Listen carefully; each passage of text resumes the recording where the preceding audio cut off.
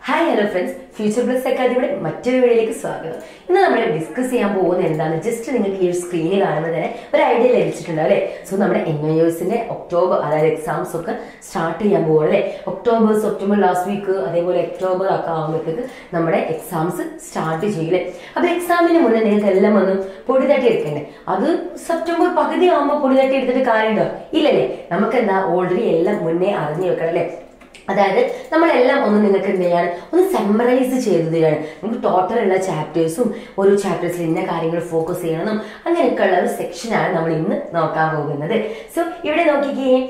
നിങ്ങൾ മലയാളം പേപ്പറാണ് നമ്മൾ ഇന്ന് ഡിസ്കസ് ചെയ്യാൻ പോകുന്നത്. മലയാളം പേപ്പറിലെ ട്വന്റി എയ്റ്റ് ചാപ്റ്റേഴ്സ് ഒരു ദിവസം കൊണ്ട് എടുക്കുമോ നിങ്ങൾക്ക് ഡൗട്ട് ഉണ്ടായിരിക്കും. ഇല്ല നമ്മൾ എന്താണ് ഇരുപത്തെട്ട് ചാപ്റ്റേഴ്സ് ഒന്നും ഒറ്റ ദിവസം കൊണ്ട് നമുക്ക് എടുത്തു തീർക്കണ്ടില്ല അല്ലേ? അപ്പൊ നമ്മൾ എന്ത് ചെയ്യാണ്? നമുക്ക് രണ്ട് പുസ്തകങ്ങൾ ഉണ്ട് അല്ലേ മലയാളത്തിന്? അതിൽ അഞ്ച് വിഭാഗങ്ങൾ വീതം നമുക്ക് പഠിക്കാനുണ്ട് അല്ലേ? അപ്പൊ നോക്കിയേ അപ്പൊ നിങ്ങൾ വിചാരിക്കും രണ്ട് പുസ്തകത്തിൽ അഞ്ച് വിഭാഗങ്ങളാണെങ്കിൽ മിസ്റ്റേ പത്തെണ്ണല്ലേ ഉണ്ടാവുള്ളൂ. എങ്ങനെ ഇരുപത്തെട്ടെണ്ണം ഉണ്ടാവുമെന്ന് ശ്രദ്ധിക്കല്ലേ? ഓരോ വിഭാഗത്തിനും മറ്റുള്ള നമുക്ക് എന്താ ഓരോ കഥയും കവിതയൊക്കെ ആയിട്ട് നമുക്ക് പഠിക്കാനുണ്ട്? അപ്പൊ ഇന്ന് നമ്മൾ ഒരു അഞ്ച് ചാപ്റ്റേഴ്സ് ആണ് നമ്മൾ ഇന്ന് ഫോക്കസ് ചെയ്യാൻ പോകുന്നത് സോ നോക്കിക്കേ നമ്മുടെ ഒന്നാമത്തെ ചാപ്റ്റർ ഏതാണ് കവിതയാണ് നമുക്ക് പഠിക്കാനുള്ളത് അല്ലെ? അപ്പൊ ഒന്നാമത്തെ ചാപ്റ്റർ നോക്കിയേ നമുക്ക് കവിതയാണെന്നല്ലേ നമുക്ക് പഠിക്കാനുള്ളത്? കോലോത്ത് നാട് വാണിരുന്ന ഉദയവർമ്മൻ കോലോത്തിരിയുടെ സദസ്യനും നമ്മുടെ പ്രാചീന കവിത്രയത്തിലെ ഒരു കവിയുമായ ചെറുശ്ശേരിയുടെ കവിതയാണ് നമുക്ക് ഒന്നാമത്തെ ചാപ്റ്ററിൽ പഠിക്കാനുള്ളത്. സോ ഒന്നാമത് നമുക്ക് എന്താ ഒരു കവിതയാണ് നമുക്ക് പഠിക്കാനുള്ളത്. അപ്പൊ നമ്മുടെ കവിതയുടെ പേരെന്താ? അമ്മയ്ക്കൊരു സന്ദേശമാണ് നമ്മൾ പഠിക്കുന്നത് അല്ലേ അമ്മയ്ക്കൊരു സന്ദേശത്തിൽ എന്താണ് അമ്മയും മകനും കൃഷ്ണനും കൃഷ്ണന്റെ അമ്മയും തമ്മിലുള്ള സ്നേഹം നമുക്ക് കാണാൻ സാധിക്കില്ലേ?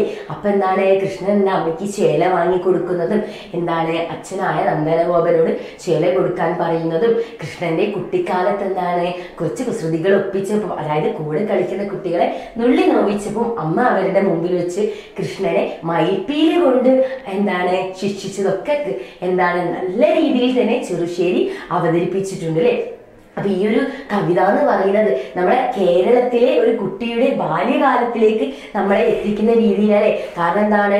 ഓണം എന്നും അങ്ങനെയുള്ള ഓണം എന്ന് പറയുന്ന നമ്മുടെ കേരളക്കാരുടെ മാത്രം ആഘോഷമാണ് അല്ലേ? അപ്പം ഓണത്തിനെ കുറിച്ചിട്ടൊക്കെ നമ്മുടെ കവിതയിൽ മെൻഷൻ ചെയ്ത് പറയുന്നുണ്ട്. അപ്പൊ എന്താ? കേരളത്തിലെ ഒരു കുട്ടിയുടെ ബാല്യം എന്ന കണക്കെയാണ് നമ്മൾ എന്താണ് ഒരു കവിത ആവിഷ്കരിച്ചിരിക്കുന്നതെന്ന് നമുക്ക് പറയാൻ സാധിക്കും. നല്ല രീതിയിൽ തന്നെ ആസ്വാദകരിലേക്ക് എത്തുന്ന രീതിയിലാണ് ചെറുശ്ശേരി ഈ ഒരു കവിതാ ഭാഗം ആവിഷ്കരിച്ചിട്ടുള്ളത്. അടുത്ത പാഠഭാഗം നോക്കിക്കേ. ഏതാണ്? പ്രാചീന കവിത്രയത്തിൽ മറ്റൊരു വ്യക്തിയാണ്. അതായത് പ്രാചീന കവിത്രയത്തിൽ നമ്മൾ എത്ര പേരുണ്ട്? മൂന്ന് ആളുകളുണ്ട് അല്ലേ അപ്പൊ പ്രാചീന കവിത്രയത്തിൽ രണ്ടാമത്തെ വ്യക്തിയും കനകം മൂലം കാമിനി മൂലം കലകം പലവിധം ഉലകിൽ സുലഭം എംബ്രാനൽപ്പം കട്ടുപുജിച്ചാൽ അമ്പലവാസികളൊക്കെ കക്കും. പിന്നെ നോക്കിയേ പണമെന്നുള്ളത് കയ്യിൽ വരുമ്പോൾ ഗുണമെന്നുള്ളത് ദൂരത്താകും. അപ്പൊ ഇതൊക്കെ പറഞ്ഞതാരാ നമ്മുടെ കുഞ്ചനമ്പ്യാരല്ലേ? നമ്പ്യാർ പറഞ്ഞാൽ നമ്മുടെ പ്രാചീന കവിത്രയത്തിൽ മറ്റൊരു കവിയാണ് പ്രാചീന കവിത്രയം എന്ന് പറഞ്ഞത്ര മക്കളെ. മൂന്നെണ്ണാണുള്ളത് അല്ലെ അപ്പൊ എന്താണ്? നമ്മൾ ആദ്യം പഠിച്ച ചെറുശ്ശേരി കുഞ്ചൻ നമ്പ്യാർ എഴുത്തച്ഛൻ ഇവർ മൂന്ന് പേരുമാണ് നമ്മുടെ പ്രാചീന കവിത്രയം എന്ന് പറയുന്നത്. അദ്ദേഹത്തിന്റെ കാലയില്ലാത്ത കാലം എന്ന കവിതയാണ് നമ്മുടെ രണ്ടാമത്തെ പാഠഭാഗമായി വരുന്നത്. ഈ വാക്കിൽ നിന്ന് തന്നെ ഈ ഒരു സെന്റൻസിൽ നിന്ന് പാഠത്തിന്റെ തലക്കെട്ടോടുകൂടെ നിങ്ങൾക്ക് മനസ്സിലാവും എന്താണ്? കാലനില്ലാത്ത കാലമാണല്ലേ?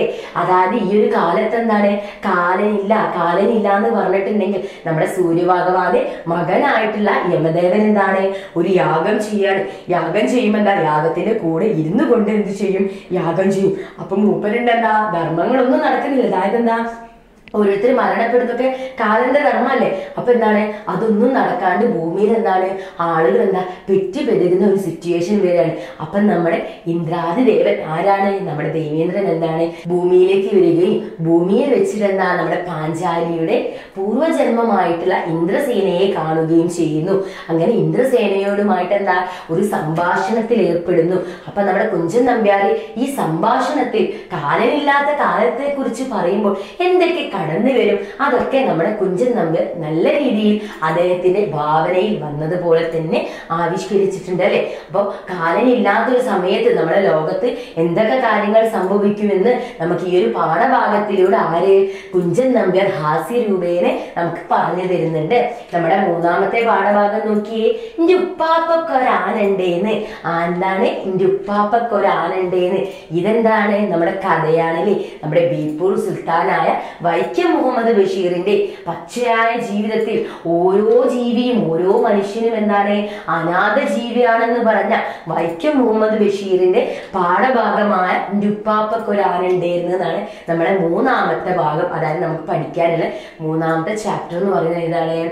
ഈ ഒരു കഥയാണ്. അപ്പൊ ഈ ഒരു കഥയിൽ നമുക്ക് കുഞ്ഞു പാത്തുമേനെ കാണാൻ സാധിക്കും. ഈ ഒരു കഥയിലെ ഒരു പ്രധാന കഥാപാത്രമായിട്ട് നമുക്ക് ആരാ കുരുവിയെ പറയണേ അപ്പൊ എന്താ കെട്ടിയോട് കുരുവിയും കെട്ടിയോൾ കുരുവിയും തമ്മിൽ എന്താ വഴക്കിടുമ്പോൾ എന്ത് വെച്ചുന്നുണ്ട് കെട്ടിയോൾ കുരുവിക്ക് പരിക്കേൽക്കുന്നതും നമ്മുടെ കുഞ്ഞുപാത്തുമ രക്ഷിക്കുന്നതൊക്കെയാണ് കഥയിലെ സന്ദർഭങ്ങളായി വരുന്നത്. ഈ കെട്ടിയോൻ കുരുവിയും കെട്ടിയോൾ കുരുവിയും തമ്മിലുള്ള കലഹത്തെ അവരെന്തായിട്ടാണ് മക്കളെ പറയുന്നത്? കുഞ്ഞുപാത്തുമയുടെ അച്ഛനും അമ്മയും എന്താണ്? എപ്പോഴും വഴക്കുണ്ടായിരിക്കും. എപ്പോഴും ഇവരെന്ത് ചെയ്യും പല പ്രശ്നങ്ങളും ബഹളങ്ങളും വീട്ടിലുണ്ടായിരിക്കും. അതിന്റെ ഇടയിൽ വളർന്നു വരുന്ന ഒരാളാണ് കുഞ്ഞുപാത്തുമ്മ എന്ന് പറയുന്നത്. അപ്പൊ ജീവിതത്തെക്കുറിച്ച് ദിക്തമായ ലക്ഷ്യങ്ങളൊക്കെ കുഞ്ഞു പാത്തുമ്മയ്ക്ക് ഉണ്ട് എന്റെ ജീവിതത്തിൽ ഇന്നൊരാൾ വരുന്നു അല്ലെങ്കിൽ എനിക്ക് ഇന്നതാവണം ഇന്നൊരാൾ വന്ന് എന്നെ രക്ഷിക്കുന്നു കല്യാണത്തെ കുറിച്ചിട്ടൊക്കെ കൃത്യമായ സങ്കല്പങ്ങൾ നമ്മുടെ കുഞ്ഞു ഉണ്ട്.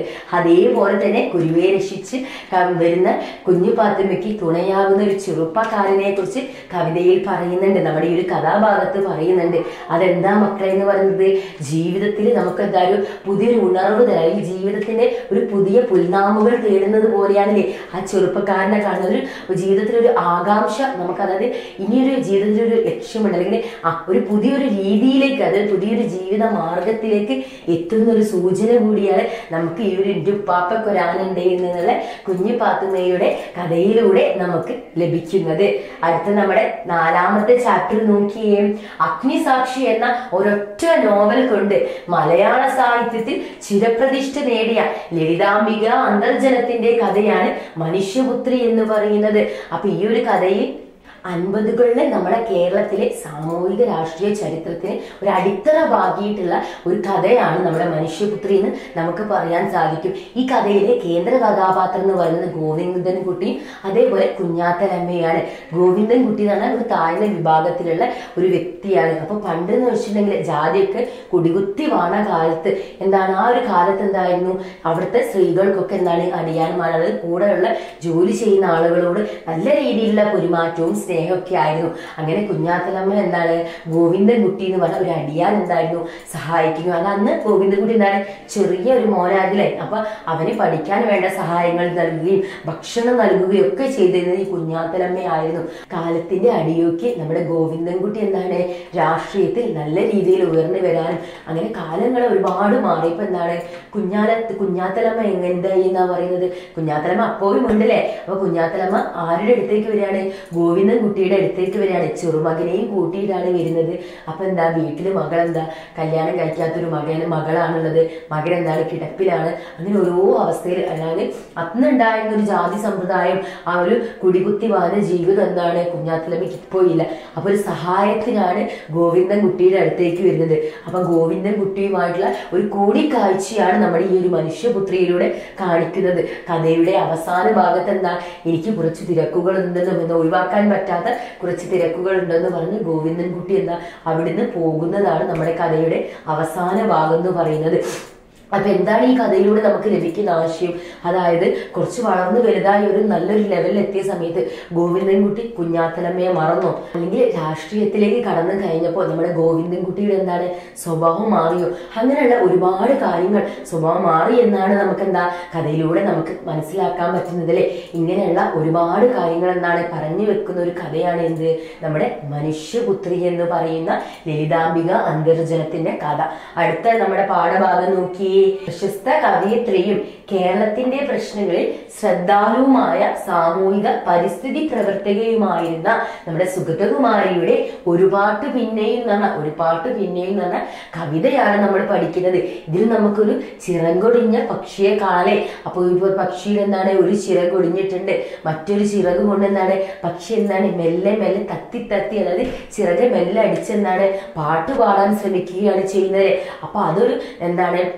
ദയനീയമായ ഒരു അവസ്ഥ നമ്മുടെ കവിതയിലൂടെ പറഞ്ഞു വെക്കാൻ ആർക്ക് സാധിക്കുന്നുണ്ട്? നമ്മുടെ സുഗതകുമാരിക്ക് സാധിക്കുന്നുണ്ട്. അതോടൊപ്പം തന്നെ മനുഷ്യന്മാരെ നമ്മുടെ പരിസ്ഥിതിയെ എത്രത്തോളം ഉപദ്രവിക്കുന്നുണ്ട് എത്രത്തോളം നശിപ്പിക്കുന്നുണ്ട് അല്ലെങ്കിൽ പരിസ്ഥിതി ഒരു മോശം അവസ്ഥയിൽ എത്താൻ കാരണം മനുഷ്യന് എത്രത്തോളം നീച പ്രവർത്തനങ്ങൾ നടക്കുന്നുണ്ടെന്നുള്ള ഒരുപാട് കാര്യങ്ങൾ പറഞ്ഞു വെക്കുന്ന ഒരു ചെറിയൊരു കവിതയാണ് നമ്മുടെ സുഗതകുമാരിയുടെ ഒരു പാട്ട് പിന്നെ എന്ന് പറയുന്നത്. അപ്പൊ നമുക്ക് ഇന്ന് ഇത്രയും ചാപ്റ്റേഴ്സ് ആണ് നമ്മൾ എന്ത് ചെയ്തത്? ജസ്റ്റ് ഒരു റിവിഷൻ മോഡലിൽ നമ്മൾ പറഞ്ഞു വെച്ചിട്ടുള്ളത്. സോ നിങ്ങൾക്ക് ഇപ്പൊ ഉണ്ടായിരിക്കും മിസ് ഇങ്ങനെ ഒരു റിവിഷൻ മാത്രമായിട്ട് ഞങ്ങൾ നമുക്ക് പോരാ. നമുക്ക് എന്താ കുറച്ചുകൂടി ഡീപ്പായിട്ട് ഓരോ ചാപ്റ്റേഴ്സ് ഓരോ ലൈൻ ബൈ ആയിട്ട് നമുക്ക് അറിയണം.